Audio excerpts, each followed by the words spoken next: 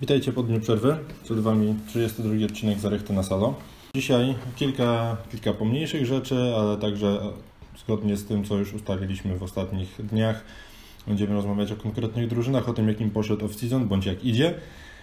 Więc do, do rzeczy. Najpierw o, o rzeczach małych.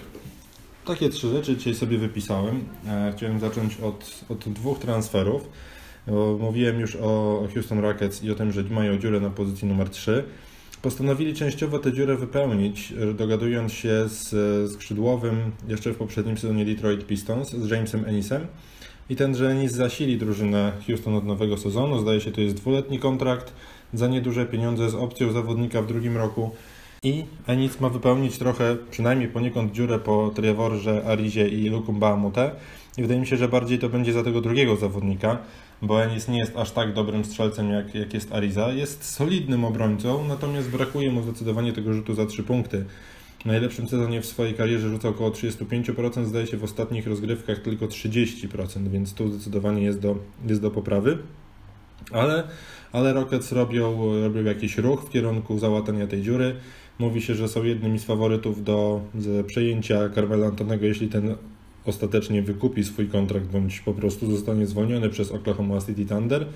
Nie jest to oczywiście idealne rozwiązanie dla, dla Rockets, ale jakieś jest. Więc zobaczymy, jak to, jak to dalej pójdzie. Były zawodnik z kolei Houston Rockets, Royce White, nie wiem czy, czy jeszcze pamiętacie, to, to ten gość, który miał problem z podróżowaniem samolotem po, po Stanach. Takie były przynajmniej oficjalne informacje, że jest to związane z jakąś jego chorobą. E, no i Royce White nigdy nie zaistniał tak naprawdę w NBA. Później został mistrzem Ligi Kanadyjskiej, być może też kiedyś gdzieś tam się Wam to obiło o uszy. A dlaczego mówię o Royce White'ie? Bo będzie grał w Europie.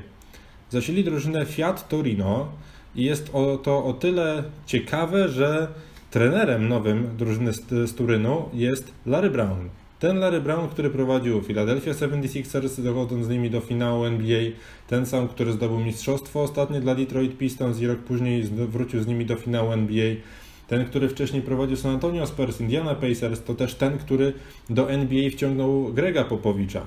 No i tenże trener będzie we Włoszech od nowego sezonu, no i będzie miał zawodnika takiego jak Royce White, więc zobaczymy jak White się odnajdzie w europejskiej koszykówce. Ja mu życzę jak najlepiej. No i trzecia mała rzecz, którą chciałem dzisiaj poruszyć, taka konkretna wpadka e, firmy Puma, e, firmy, która chce wrócić na rynek e, koszykarski, która chce wejść do ligi NBA. No i Puma postawiła sobie dosyć wysokie wymagania, mianowicie skusiła do podpisania z nimi kontraktu z teoretycznie najlepszym zawodnikiem tegorocznego draftu, czyli z wybranym z jedynką DeAndre Aytonem. Problem polega jednak na tym, że jak się okazało, Ayton gra w lidze letniej w butach firmy Nike, nie w Pumach, mimo że ma z nimi kontrakt. Jak się okazuje, wiecie dlaczego? Bo Puma nie była w stanie wyprodukować tak dużego buta, przynajmniej do, na, na, na ligę letnią, tak dużego buta, żeby Ayton w nich mógł grać. W amerykańskiej rozmiarówce to jest numer 18, w naszej to jest 50-52, zdaje się, coś, coś w, tych, w tym rodzaju, więc dosyć spore. Natomiast to nie są też największe buty, no bo Szak chociażby miał 22 w porównaniu do 18 Aytona, więc to, to już jest konkretna różnica. Trochę powiem szczerze tak, jeżeli Puma chciała wejść na, z powrotem do NBA, no to zaczyna beznadziejnie. Od konkretnej wpadki, takiej, która może się ciągnąć za nimi e, długimi, długimi latami. Nie wiadomo jak w ogóle Ayton, czy jest zadowolony z tego powodu. Oczywiście wiadomo, kasa mu wpłynie na konto, tak, gra w Nike'ach. Fajne są te buty, które, które on promuje. E, natomiast no, no lipa totalna, że podpisali kontrakt i nie są w stanie swojego, swojej twarzy ubrać w te buty do grania, do, de, od debiutu chociażby. Ja nie wiem, ile trwa proces wykonania butów, no jedną sztukę tak naprawdę, jedna para była potrzebna, żeby zagrał w pierwszym meczu, no powiedzmy ze 3-4, żeby mógł spokojnie przez całą ligę letnią grać, a tu lipa, więc jeżeli w ten sposób mają rywalizować z Nike, z Adidasem, z Under Armourem i innymi markami obuwniczymi, no to, to niestety nic z tego nie będzie. Ok. Przechodźmy szybko do, do tego, co, co miało być regularną pozycją, czyli omawianie drużyn. Dzisiaj mamy dwie. Minęły już 5 minut, pod, 5 minut podcastu, to myślę, że trzeba będzie się sprężać. Zgodnie z Waszymi podpowiedziami w komentarzach, dzisiaj Toronto Raptors i Portland Trail Blazers. I oczywiście zachęcam Was do tego, żebyście podrzucali, jakie kolejne drużyny chcecie, żebym przeanalizował. Zacznijmy od Raptors, czyli drużyny, która wreszcie była najlepsza w, sezonie zasadniczym w konferencji wschodniej. Stawiona z numerem 1. Weszła tam i, i dała ciała po, po całości. Pamiętamy wszyscy 0-4 z Cleveland Cavaliers i szybka, szybka podróż do domu, zwolnienie Dwayna Casey'a. W jego miejsce zatrudnili Nicka Nurse'a, czyli dotychczasowego asystenta Raptors. To, to jest ten człowiek, który odpowiadał za ich ofensywę, szczególnie za to, co stało się w ostatnim sezonie. Jak, jak Raptors przeszli od grania indywidualnego w oparciu o izolację dla DeRozana i Kyla Lauriego do drużyny, która no, była dosyć wysoko, jeśli chodzi o ruch piłką, o liczbę podań, o liczbę rzutów za trzy punkty. Także Nick Nurse to jest ten człowiek, który przepoczwarzył Raptors z koszykówki topornej na, koszul, na koszykówkę przyjemną. Oczywiście koniec końców nie przyniosło to rezultatów w postaci przejścia Cleveland Cavaliers i powrotu do finału konferencji, no ale to on teraz dostaje szansę. Nie będzie miał łatwo, bo, bo Raptors są w takiej sytuacji, że, że mają skład ugruntowany i tam się albo nic, albo prawie nic nie zmieni. E, w tej chwili mają już gwarantowane dużo powyżej pod, e, poziomu podatku 127 milionów dolarów, zdaje się w tej chwili już mają gwarantowane, więc to są ogromne pieniądze. E, piątka zawodników: Kyle Lowry, DeMar DeRozan, Serge Ibaka, Jonas Valanciunas i CJ Miles. W tym sezonie łącznie 105 milionów. Rok później, zdaje się, Miles i Valanciunas mają opcję po stronie zawodnika za naprawdę solidne pieniądze i wątpię, żeby gdzie indziej znaleźli takie. Jeżeli się na nie zdecydują, to ta piątka pochłonie 110 milionów w samym przyszłym roku. Kolejny kontrakt, który jest dla nich niewygodny, to kontrakt Normana Powella, który już teraz wejdzie w kontrakt ten pierwszy, tak powiem, dorosły, bo dotychczas był na umowie debiutanckiej. Jak pamiętacie, rok temu po dosyć solidnych playoffach Norman Powell dostał wysoki kontrakt, wysoki na tyle, że dostanie w, sezonie 18-19 9 milionów dolarów. Problem polega tylko na tym, że ostatnie rozgrywki pokazały, że Powell nie pasuje do Raptors. Został wygryziony z rotacji przez CJ'a Milesa, spadł też za Delona Wrighta, minuty zabierał mu też Fred Van Vliet, kogo sobie tylko jeszcze można, można wymyśleć. No i Powell nagle spadł do, do roli 10-11 zawodnika. Będą mu płacili 9 milionów dolarów, czyli prawie 1 dziesiątą salary czyli to jest bardzo dużo. I to jest ich kolejny problem, bo oczywiście powinni poszukać wymiany za tego zawodnika, skoro jest im zbędny, to fajnie by było znaleźć miejsce, w którym, w którym będzie mógł grać. Tylko nie widzę w tej chwili za bardzo chętnych. No może znajdzie się jakaś drużyna, która będzie chciała odbudować tego zawodnika, ale to nie jest krótkotrwała inwestycja, no bo Paweł ma chyba trzyletni kontrakt z opcją na czwarty, więc to, to zdecydowanie nie wygląda, nie wygląda dobrze i być może po prostu Raptors będą musieli się przebujać z jego, z jego kontraktem przez najbliższe sezony. Raptors odpuścili za to swojego trzeciego centra w ostatnim sezonie, a drugiego w, w poprzednich, e, Lukasa Nogueira. Prawdopodobnie myślę, że nie będą z nim podpisywali nowej umowy. Nogueira stracił miejsce w rotacji na rzecz debiutanta Jakoba Peltla i, i wypadł z niej, no to grając chyba około 6 czy 7 minut tylko na mecz, zazwyczaj w momencie, kiedy, kiedy spotkania były już rozstrzygnięte. Wciąż jednak pokazywał się z dobrej strony w kilku, w kilku aspektach i może być przydatny w zespołach, jeżeli zostanie odpowiednio wykorzystany. Bo przeliczeniu na 36 minut notuje blisko 4 bloki na mecz. To jest bardzo dobry wskaźnik, więc jeżeli ktoś potrzebuje zawodnika, który będzie nieźle bronił przy obręczy, który dobrze gra pick and roll w ofensywie, bo tego nie można Nogejrze odmówić, że dobrze stawia zasłony, dobrze roluje w stronę kosza i i też dzięki swoim warunkom fizycznym, długim ramionom i, i dobremu wyskokowi jest w stanie łapać ale loby rzucone nad kosz i kończyć je z góry, więc jest zawodnikiem, którym może się przydać, tylko w odpowiednim środowisku, w odpowiednich warunkach i w odpowiednich minutach. Myślę, że za minimalne pieniądze znajdzie sobie dobre, dobre miejsce. Raptors zdecydowali się oczywiście zatrzymać w zespole Freda Van Vlieta, czyli gościa, który rok temu zrobił największy postęp w drużynie. Van Vliet podpisał dwuletni kontrakt za 18 milionów dolarów. I to on będzie podstawowym zmiennikiem Kyla, Kyla Lauriego. I to tak naprawdę tyle, jeśli chodzi o, o, Raptors, bo Raptors nie mieli wyboru w drafcie, więc nikogo nie wybrali. W lidze letniej najbardziej ogrywani są OG Anunobi i Malachi Richardson, czyli gracze już na kontraktach, gracze już, którzy są w drużynie e, i, i mają przynajmniej Anunobi swoje pewne miejsce w pierwszej piątce. Richardson walczy o swoje minuty i patrząc na to, jak sobie radzi w lidze letniej, nie wykluczam, że może zabrać minuty także Normanowi Powellowi, więc to, to też wchodzi, wchodzi w grę. Ma przede wszystkim bardzo solidny rzut za trzy punkty i chociażby tym może sobie wygrać swój czas na boisku. Jeśli chodzi o rotację drużyny, to nie zmieni się ona praktycznie w ogóle w stosunku do poprzednich rozgrywek. Na centrze oczywiście Valanciunas, jego zmiennikiem jako Peltl, dalej na silnym skrzydłowym Serge Ibaka, zmieniany przez, wydaje mi się, coraz lepszego Pascala Siakama i wydaje mi się, że tutaj rozwój Siakama może warunkować to, czy Raptors będą chcieli dalej trzymać się Ibaki, czy poszukają też dla niego jakiejś wymiany. Na pozycji niskiego skrzydłowego Augiano Nobi, który wydaje mi się powinien dostać jeszcze większą rolę w ofensywie niż, niż w poprzednim sezonie, bo tak naprawdę był ograniczony tylko do stania w rogu, e, ewentualnie ścinania za plecy w stronę, w stronę obręczy i otrzymywania piłek wtedy, kiedy ktoś inny już nie miał co z nią zrobić. Za Anunobim strzelec CJ Miles i tenże Malachi Richardson, o którym już wspomniałem w kwestii Ligi Letniej.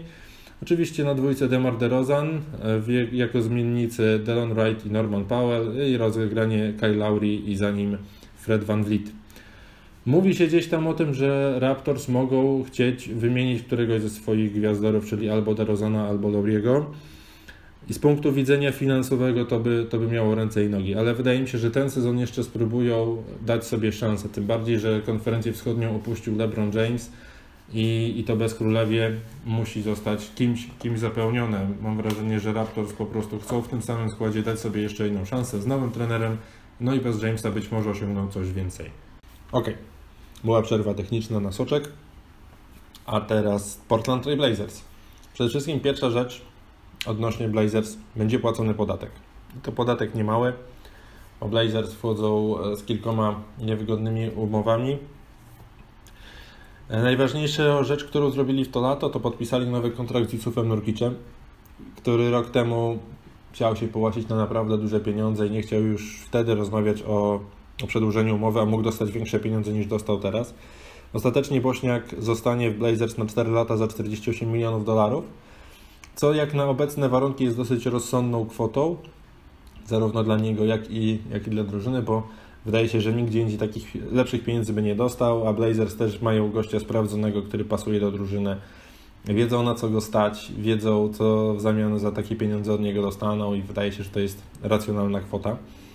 Poza tym wyciągnęli dwóch zawodników e, z, jako wolnych agentów, gości, którzy mają być zmiennikami dla, dla, na obwodzie. Pierwszy to Nick Stauskas, który podpisał roczny kontrakt za 1 600 tysięcy dolarów i raczej nie wróżę tutaj Stauskesowi jakichś wielkich minut. Raczej będzie takim piątym, szóstym graczem na pozycjach 1-2. Raczej na pozycji 2 nawet będzie trzecim po prostu wyjściem. Z kolei Setkary podpisał dwuletni kontrakt za 2,75 miliona dolarów i liczę trochę, że Setkary po tym roku spędzonym na zwolnieniu lekarskim, gdzie cały, cały sezon stracił, wróci do dobrej gry i przypomni się tu i ówdzie kibicom i, i po prostu będzie kimś, kimś istotnym w rotacji, w rotacji Blazers. Ale tak powiem szczerze, patrząc na to, że, że Blazers podpisali tych dwóch zawodników, kłóci mi się to całkowicie z tym, co zrobili wcześniej w drafcie. I trochę kłóci, i trochę nie, ale to zaraz, zaraz do tego. W drafcie Blazers wybrali dwóch graczy. Pierwszy to Anthony Simmons, a drugi to Gary Trent Jr., syn byłego skrzydłowego, silnego skrzydłowego Portland Trail Blazers. Obaj są zawodnikami z pozycji głównie dwa. I to mają być gracze, którzy w przyszłości mają być może zamienić Lillarda i McColluma, mają być ich zmiennikami, nie wiem, nową wersją Alena Kraby na przykład. Więc tu jest to inwestycja w przyszłość, nie inwestycja na teraz. Więc wydaje mi się, że ten, te ruchy odnośnie wybrania tych dwóch zawodników i jednocześnie podpisanie Stauskasa i Seta Karego broni się o tyle, że prawdopodobnie Simons i, i Trent. Spełnią, spędzą większość pierwszego sezonu w G-League.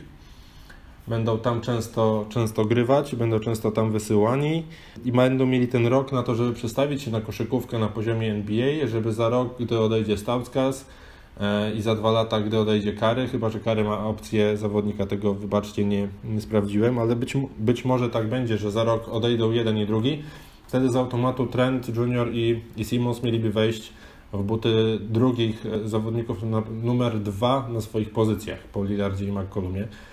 I to miałoby zdecydowanie, zdecydowanie sens. A kim w ogóle są ci gracze? Nie wiem, czy czytaliście biografię Andra Agassiego, ale jeżeli nie, to, to szybko Wam powiem, że Agassi w momencie, kiedy jego ojciec postanowił, że da mu szansę jako, jako zawodowcowi, a Agassi został wysłany na Florydę do szkoły Nika Boletieriego. No i ten Nick Boletieri założył w swojej prywatnej szkole, prowadził najpierw tylko i wyłącznie szkółkę tenisa zimnego, później sprzedał ją firmie IMG, która roz, rozszerzyła działalność e, na inne, na inne sporty, m.in. baseball, golf i także na koszykówkę. I z tej szkoły e, już trzech graczy w tym momencie trafiło do NBA. Simons będzie tym trzecim. Wcześniej byli to Dwight Powell, który jest w tej chwili rezerwowym w Dallas Mavericks i Jonathan Isaac, zawodnik Orlando Magic, wybrany rok temu wysoko w drafcie. Problem z tą szkołą jest taki, że nie uczestniczy ona w rozgrywkach NCAA jako prywatna szkoła. Grywa tylko jakieś mecze towarzyskie i ciężko porównać poziom e, Anferni Simonsa do innych zawodników w, w NCAA. Mówi się o tym, że gdyby ten sezon spędził w NCAA, a nie w tej prywatnej szkole IMG Academy, to mógłby się załapać nawet do pierwszej piętnastki draftu, co jest bardzo dobrą rekomendacją i być może po prostu nikt nie chciał się skusić wyżej, bo była to jakaś tam niewiadoma i, i, i Lasers wygrali go dopiero pod koniec trzeciej dziesiątki. E, mówi się o tym, że jest bardzo pracowitym zawodnikiem, że niezależnie od tego, czy zagra dobry czy słaby mecz, to zostaje po, po, po meczu i chce trenować. Nawet jak trafi 10 na 10 z gry, to, to będzie trenował swój rzut po, po meczu jeszcze. Więc to jest zdecydowanie na plus, e, taka etyka pracy. Na minus oczywiście fakt, który zresztą jest bardzo częsty obecnie przy zawodnikach wchodzących do NBA, czyli budowa, fizyczna. Tak? Jest, jest jeszcze niegotowy fizycznie na, na NBA, potrzebuje nabrać masy mięśniowej, no i to będzie jego kolejne zadanie na najbliższe lata. Z kolei Trent Junior ma być zmiennikiem, e, zamiennikiem nawet za Pata Konatona, którego prawdopodobnie Blazers nie podpiszą i, i będzie, mam nadzieję, Trent Junior będzie mógł wejść w jego buty być może już w drugiej połowie tego sezonu. Zresztą co ciekawe, mimo że Trent Junior został wybrany niżej w drafcie, dopiero w drugiej rundzie, to jak czytałem opinie ekspertów piszących o Blazers, jest przez nich oceniany dużo lepiej niż Simmons. Przynajmniej na dzisiaj. Wydaje mi się, że to właśnie jest kwestia tego, że Simmons grał poza NCAA, a Trent grał w, na uczelni Duke, więc był gościem, którego łatwo obserwować, łatwo ocenić i to jest, wydaje mi się, ten główny powód, dla którego o nim, o, niego są bardziej spokojni niż o Simmonsa. A jak będzie? Zobaczymy. Jeśli chodzi o pozostałe ruchy, to stracili Blazers Eda Davisa, który poszedł do Brooklyn Nets. E, czekają jeszcze z tym, co zrobić z Patem Konatonem CJ Wilcoxem i Shebazem Najpierem, ale wydaje mi się, że tutaj ci gracze zostaną odpuszczeni już. I tak czy siak mają dosyć w tej chwili już szeroki skład i mam wrażenie, że raczej będą szukali jeszcze wymian, żeby kogoś oddać. Trochę dziwię się, że nikogo nie próbowali wybrać na pozycję numer 4, ale to, to może zaraz do tego przejdziemy. Bo jeśli chodzi o rotację, wyglądać ona będzie następująco. Na pozycji numer jeden oczywiście Damian Lillard. Zmiennikiem dla niego będzie Seth Curry i dalej Wade Baldwin, który ma bardzo dobrą ligę letnią, ale nie pierwszy raz. Rok temu w barwach Memphis Grizzlies też miał bardzo dobrą i na nic się to nie, nie przełożyło. na pozycji numer dwa CJ McCollum, za nim e, Nick Stauskas, no i dwaj wybrani gracze w drafcie, czyli Gary Trent Jr. i Anthony Simmons. Na pozycji numer 3 Mo Harkless, który mam, mam nadzieję, że wróci do, do dobrej gry, takiej jak prezentował w poprzednich sezonach. Dalej e, Evan Turner i Jake Lyman.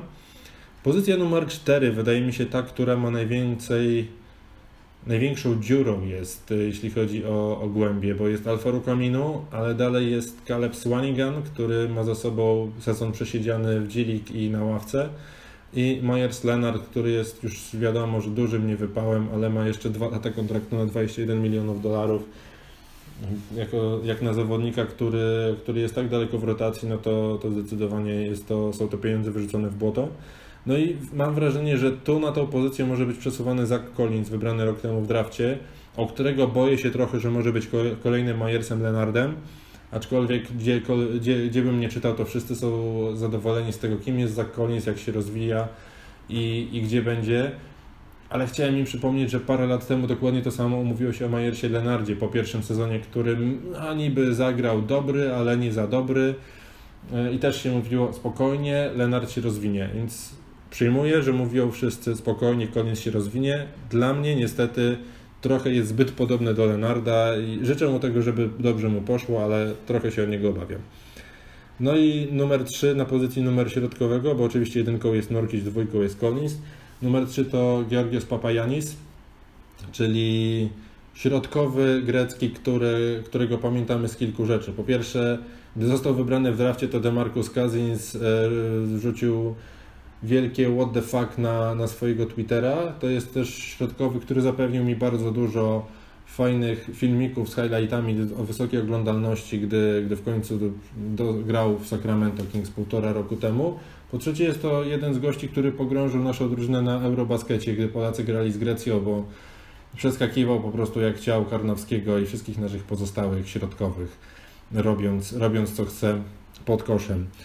Tak wygląda rotacja Blazers. Też wydaje mi się, że są nieco zastali i też są raczej trudni do ruszenia w najbliższym sezonie, w najbliższych latach, jeśli chodzi o rotację i przebudowę tej drużyny. Zobaczymy, czy, czy sam rozwój tych kolejnych graczy, czy Damian Lillard, CJ McCollum będą w stanie podnieść jeszcze swój poziom. Trochę w to wątpię. No ale zobaczymy, to na razie są tylko domysły. Wyszedł dzisiaj bardzo długi podcast. No ale te kilka podstawowych informacji na początku to, to wymogło. Jeżeli, zróbmy tak, jeżeli jutro znowu się pojawią jakieś takie krótkie newsy, które będę chciał omówić podobnie jak dzisiaj z Royce'em White'em, z Jamesem Ennisem i z Pumą, to wtedy ograniczę się tylko do jednej drużyny, jeśli nie, to będą, to będą dwie. Oczywiście liczę na Wasze pomysły odnośnie tego, kogo jutro omówić i tyle z mojej strony. Dzięki za to, że byliście. Do usłyszenia. Piotrek Zarychta.